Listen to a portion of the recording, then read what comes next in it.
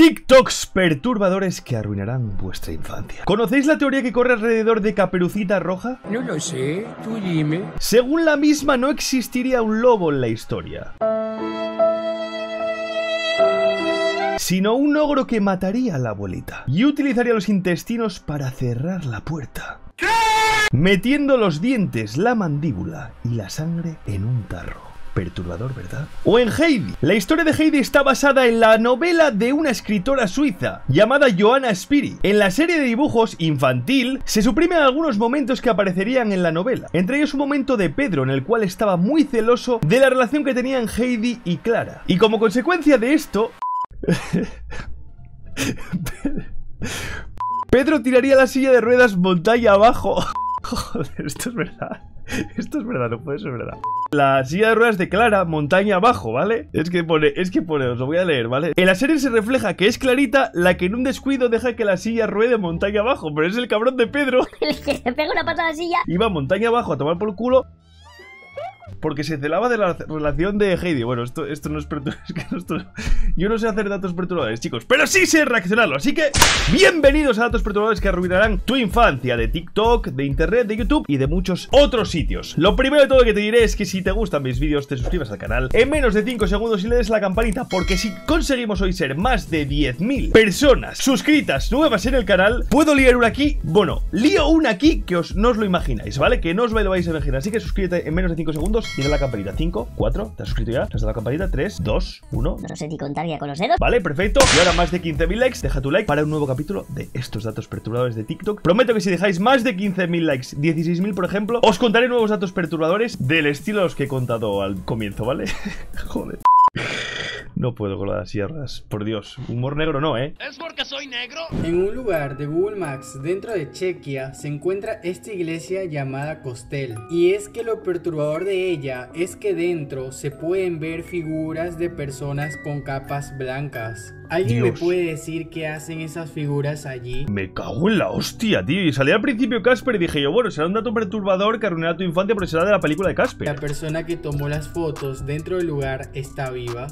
Madre mía, es que es brutal, mirad, eh. Buscad la localización y esto me parece tremendo, eh. Tremendísimo. O sea, me da. Me ha dado un respigo, me ha dado como yuyu, ¿no? Me ha dado como mal rollo. En la famosísima serie de Los Simpson, resulta que un chico en Estados Unidos de 15 años de edad llamado Steve era súper fan de esta serie. Un día, de la nada, este acabó con la vida de su hermana de la peor manera, ya que después de que este acabó con la vida de ella, tuvo relaciones con lo que era el cuerpo de su hermana. Este le echó la culpa a los Simpson, ya que dijo que una vez vio un episodio donde Bart y Lisa le decían a él a través del televisor que hiciera lo que hizo con su hermana y mostró esta imagen de Lisa y Bart que fue lo que supuestamente lo llevó a hacer eso. Obviamente los médicos lo internaron en un manicomio de por vida. Fue un final muy triste. Está muy mal de la cabeza. Esta es una foto de la hermana de este niño segundos antes de que pasara todo lo que pasó. Hostia, muy perturbador esto, pero la gente está muy pasada, ¿eh? La gente está muy pasada la cabeza. No me digáis a mí que se puede hacer esto porque te lo manda, yo qué sé. Ahora me pongo yo a ver Sálvame Deluxe y me manda el presentador que me tire por la ventana y me tiro. Pues no. El comercial de desodorantes más perturbador de la historia. Axe creó un comercial donde un chico al usar su producto se volvía chocolate. Pero lo perturbador está en cómo rompe su cuerpo y le da de comer a las chicas.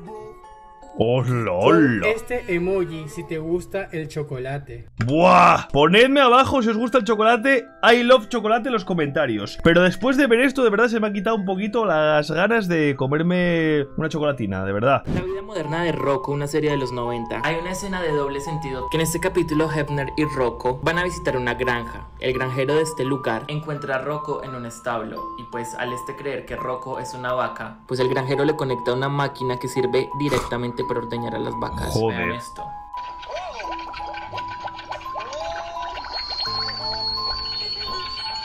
Y pues como ¡Hostias! este es macho y en realidad no es ninguna vaca, cuando este se va del lugar, él se despide de una manera muy emocionada de la máquina. Ojo, y este programa fue para niños y con esos Ostras. chistes de adultos tan evidentes. Muy perturbador, porque esto tendría que ser para éramos tan inocentes para entender las referencias para mi serie favorita. Enfermedad que te hacía bailar hasta perder la vida. Venga, hasta mañana. ¿Esto, ¿Pero esto qué es? Esto, esto- de este eh, TikTok perturbador sacaron la granada esta de bailar del Fortnite. Me la juego.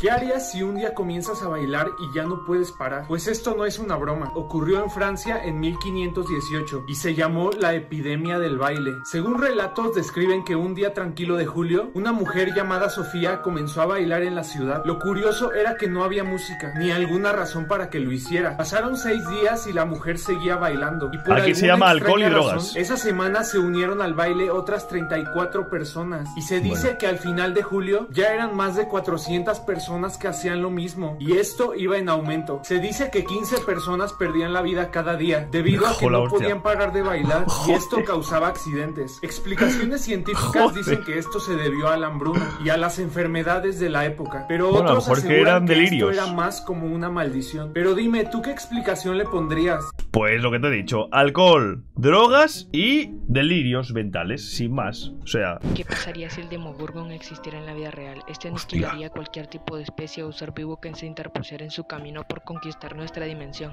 La policía no podría contra él puesto que las armas no le harían nada ya que este se podría regenerar fácilmente. La única forma de derrotarlo sería una persona o una máquina que pudiera igualar sus poderes para poder combatir. hostia, una máquina que pudiera igualar sus poderes. A ver, si le metes al Demogorgon con un tanque, un bombazo, te digo yo que ni Demogorgon, ni Demogorgon, ni Sampito Pato. Esto es lo que pasaría si Freddy Hostia. Krueger fuera real. Bueno, Freddy Krueger, os tengo que decir antes de que empiece este TikTok perturbador, que es, yo creo, de los monstruos que más miedo me han dado de niño, incluso ahora. Leatherface me da mucho yuyu ahora, pero es que Freddy Krueger de niño es que yo no podía con él, de verdad. Era pensar en Freddy y me moría de miedo. ¡Me moría! Para empezar, muchas personas no podrían dormir por el miedo a ser asesinados en sus propios sueños. La policía no podría combatirlo ya que este solo se manifestaría en los sueños, lo que ocasionaría múltiples asesinatos. Esto provocaría que hubiera un caos entre la población ya que todos estarían alterados al miedo de ser asesinados por Freddy. Claro, y no dormirían, y si no duermes te puedes volver loco. Y si te vuelves loco por no dormir, te puedes poner a bailar, como en el TikTok anterior, que a lo mejor estaban bailando porque tenían miedo a Freddy y no querían dormirse, y por tanto está todo enlazado. Soy un genio. Sí, El joder. hombre que estuvo siete días en otra dimensión. Hostia, ¿en Este dónde? caso ocurrió en México y lo publicó un hombre llamado Rodrigo. Él tenía una Ah, fiesta en casa de su novia, preparó todo y a las 8 de la noche llegó a la fiesta y notó que había mucha gente. Comenzó Me hace- me hace mucha gracia. Lo publicó un tío que se llamaba Rodrigo, porque solo había uno o dos en todo México. a bailar y a tomar hasta que sonó su celular. Se metió al baño, contestó pero solo escuchó estática. Colgó y notó que la música de la fiesta se había parado. Así que. Salió del baño pero se dio cuenta de algo. No había nadie en la En fiesta. Como si todos se hubieran ido. Algo muy extraño es que Rodrigo notó que las fotos familiares que estaban en la pared no eran de la familia de su novia. Estuvo 30 minutos buscando hasta que fue al baño a enjuagar su rostro. Y cuando Dios. salió vio a su novia. Su novia le contó que en la fiesta de hace una semana entró al baño pero nadie lo vio salir. Lo buscaron por todos lados pero lo declararon como desaparecido. Él no encuentra Madre. explicación pues sintió que pasaron 30 minutos aunque en realidad fueron 7 días. Pero dime, ¿crees que esta sea una prueba de dimensiones paralelas? Hombre, pues podría ser, podría ser. ¿Creéis en las dimensiones paralelas? ¿Creéis en este tipo de cosas? Ponedmelo abajo en los comentarios si os ha pasado algo parecido en algún momento en vuestras vidas. Y no vale que me contéis alguna borrachera que os habéis pillado, que luego no os acordabais ni de 3, ni de 3, ni de 4, ni de 5, si habéis estado 8 horas durmiendo y, y demás, ¿eh? Eso no, eso no me vale, ¿eh? ¿Quién no se ha reído de esos graciosos personajes? Pero, ¿qué tal si no son lo que parecen? Los ya que según una teoría, los Minions están basados en niños judíos, que fueron secuestrados por científicos nazis para ser usados con el propósito de probar diferentes químicos, entre ellos, experimentar con gas venenoso y radiación. Y es que existen imágenes del pasado que supuestamente son las pruebas de que existieron estos niños. Ahora bien, se dice que la película de Minions es un mensaje subliminal para que el público acepte el nazismo. Y es que vean estas fotos, las que se dice son Hostia, es verdad. con máscaras utilizadas para darles veneno. ¡Hola! ¡Hola, hola, hola! Perturbador, ¿verdad? Returbio.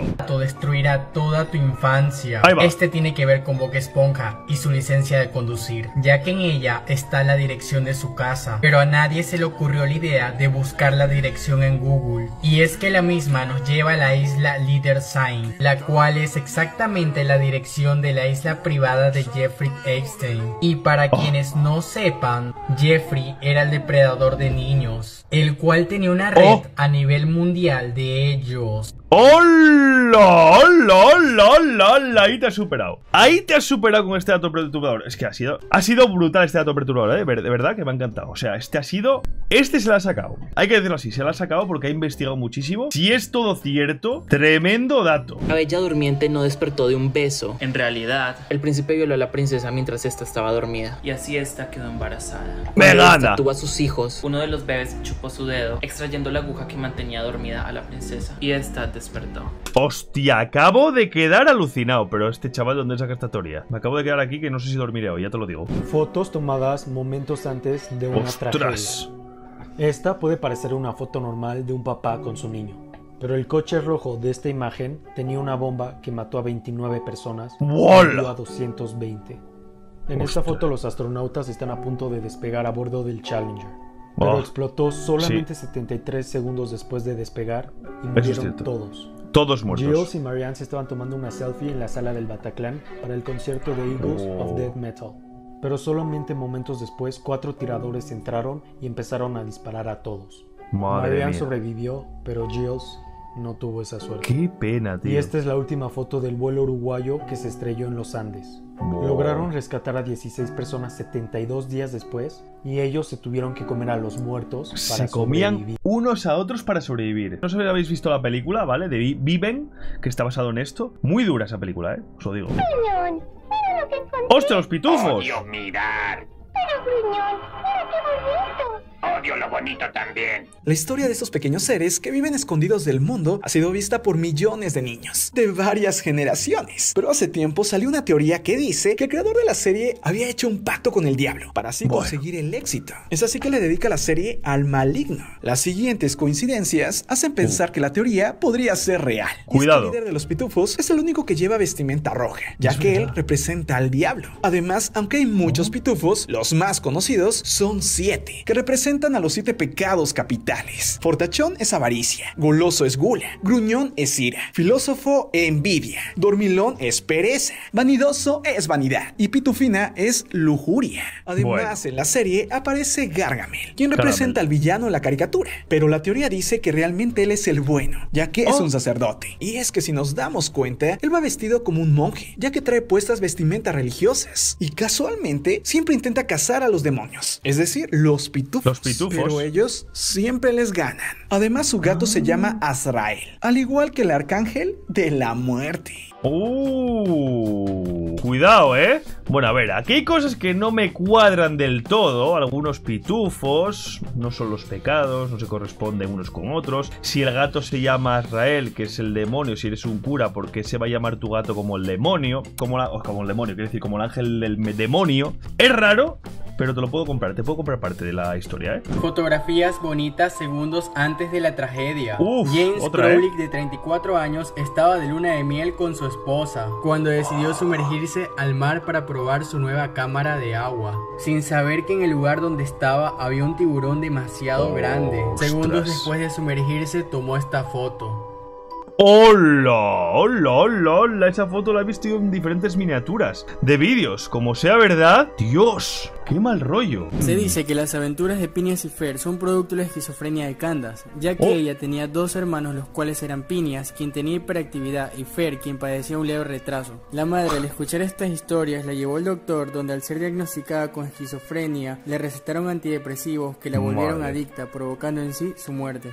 Y ¡Hola! todas las aventuras que vemos al día de hoy son del diario de Candace. ¡Hola! Brutal. Brutalísima esa teoría también, ¿Qué ¿eh? pasaría si conoces al otro tú de este mundo? Pues le pediría que me editase los vídeos y que me ayudase a trabajar. Y yo me acostaría en el sofá y me pondría a dormir y a descansar y a comer. Así de fácil. Sí, hablo de que en esta dimensión en la que todos vivimos hay alguien exactamente como tú. Esta teoría dice que todos tenemos un doble, una persona idéntica físicamente a nosotros, con gustos Ojalá. y pensamientos iguales. Este Ojalá. doble puede que ahora mismo esté viviendo en alguna parte del mundo o que haya vivido hace 100 años. Si me estás viendo y ¿Quieres mi doble? Ven a ayudarme y ponte a currar aquí conmigo. Te pago, no hay problema. Te pago, pero ayúdame, por favor. Dos canales, ediciones, ideas, pensar, hacer la comida, limpiar en casa. Me está matando. Así que llámame, ¿vale? Tienes aquí mi número de teléfono, llámame. Ya, no esperes más, ¿eh? Incluso que nazca en el futuro. Pero absolutamente todos tenemos o tendremos un doble. ¿Te gustaría conocer a tu doppelganger? Déjame decirte que no es tan bueno Ahora. como parece. Pues algunas personas que han llegado a conocer a su doble han terminado muy mal. Pues dicen que el doble es una versión oscura de la persona original. Y muchos afirman que su doble ha invadido sus sueños por años. Por esto mismo, todos recomiendan que por ningún motivo Uy. busques al otro tú de este mundo. Pues no Ay, sabemos madre. qué intenciones tendrá, ¿verdad? Ay, madre. Nah, eh, que olvídalo, eh. Que no me llames ya, eh. Que no me llames. O sea, a ver si me voy a encontrar al malo. A menos que yo sea el malo. Bueno chicos, hasta aquí el vídeo, espero que os haya gustado muchísimo, espero que os hayáis reído, os hayáis entretenido, que vuestro día vaya súper bien, que seáis súper felices, que dejéis vuestro like por supuesto, que por favor os suscribáis al canal y le deis la campanita también, que es muy importante. Os cuento más teorías perturbadoras en el próximo vídeo, ya sabéis, más de 16.000 likes, os cuento una teoría brutal, mejor que la de la silla de ruedas rodando montaña abajo, ¿vale? De Heidi, no de Clara, era. Gracias por todo el apoyo que me dais cada día, sois lo mejor que tengo, chicos, nos vemos en el próximo vídeo, un abrazo enorme y este beso para todos vosotros. Si queréis que reaccione a algo, ¿vale? Me mandáis a corvusclan con dos gmail.com vuestros vídeos con el título que queráis, ya sea Éramos de Inocentes, ya sea Datos Perturbadores de TikTok que arruinan tu infancia o lo que sea que, a lo que queráis que reaccione, ¿vale? Sígueme mi Instagram y mi Twitter, que los tendrás aquí en pantalla para que me sigáis ya mismo y no esperéis más. Y nos vemos en el próximo vídeo, mañana mismo. No me falles, ¿eh? Mañana mismo, nuevo vídeo. Adiós, chicos. ¡Chao!